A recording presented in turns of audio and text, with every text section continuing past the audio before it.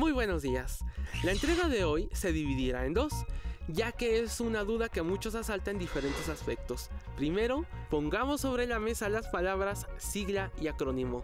Mientras que las siglas son la conformación de las letras iniciales de un concepto complejo o largo, como Universidad Iberoamericana, que se sintetiza como UIA, por su parte, un acrónimo es una sigla que se puede leer de manera natural como Universidad Nacional Autónoma de México, que con toda facilidad y naturalidad decimos UNAM.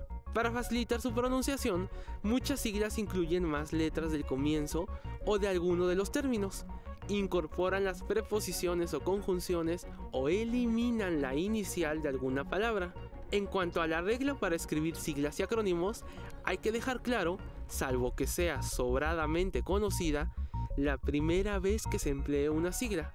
Se recomienda acompañarla de su desglose en minúscula si se corresponde a un nombre común. Otra duda que suele surgir al momento de escribir acrónimos y siglas es la puntuación. Por el hecho de confundirse con la regla de las abreviaturas, mismas que sí llevan punto, las siglas y acrónimos jamás deben llevar punto. Por eso es que cuando vemos con puntos intermedios de F, UNAM y hasta IMSS, ya sabremos ahora que es una total incorrección. No olviden seguirme en las redes sociales. Yo soy César Gabriel, así como te lo cuento hasta ahora.